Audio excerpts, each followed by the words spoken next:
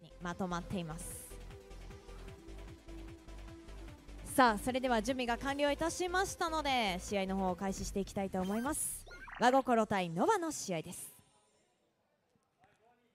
波動？ファイト！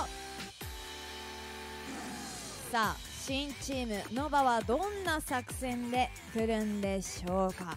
今までねバラバラだったメンバーたちが新しくチームを作ってここでまたね物語を進めていくというのがいいですね。さあステータスの方はと言いますと、えー、先ほどからの試合と似たようなステータスとなっております。5221が2人1135が1人いる。シールダーの選手タンクの選手が1人いるという状態となっております。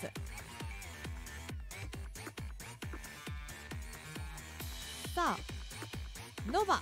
チームノバがね今2点和心が1点となっております。さあ新チームね新しいチームなんですけどもかなりあのー、連携が取れているように伺えますね。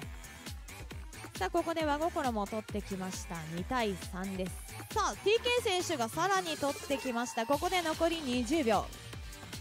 さあ尾身ン選手も取ってきましたね。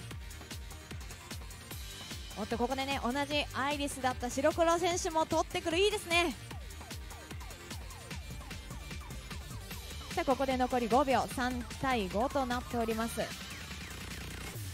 ここで山高選手が1点取るが追いつかなかった。4対5ノバの勝利となります。おめでとうございます。